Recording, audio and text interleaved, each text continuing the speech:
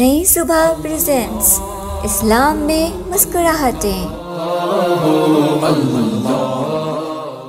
हज़रत अबू हुरैरा रज़ी अल्लाह तु बयान करते हैं कि एक मरतबा दिन के एक पहर मैं रसूल अकरम सल्लल्लाहु अलैहि वसल्लम के साथ निकला। ना तो मैं आपसे कोई बात कर रहा था और ना आप ही मुझसे कोई गुफ्तगु कर रहे थे। यानी हम दोनों खामोश ही चल रहे थे। यहाँ तक के चलते चलते बनु कैनुका के बाज़ार में पहुँचे। फिर वहाँ से वापस हुए। तो अपनी साहबजादी हज़रत बीबी फातिमा रज़ी अल्लाह तला के घर पहुँचे और पूछा क्या यहाँ पे बच्चा है? आपकी मुराद हज़रत हसन रज़ी अल्लाह तहों से थी। हम समझे, उनकी माँ ने उनको नहलाने धुलाने और खुशबू का हार पहनाने के लिए रोक रखा है। लेकिन थोड़ी ही देर में हज़रत हसन दौड़े हुए आए और अल्लाह के नबी से गले मिले। फिर रसूल अक्रम वसल्लम ने खुशी से फरमाया, इलाही, मैं इससे मोहब्बत करता हूँ। तू भी इससे मोहब्बत रख और उस शख्स से भी मोहब्बत रख जो इसको महबूब जाने।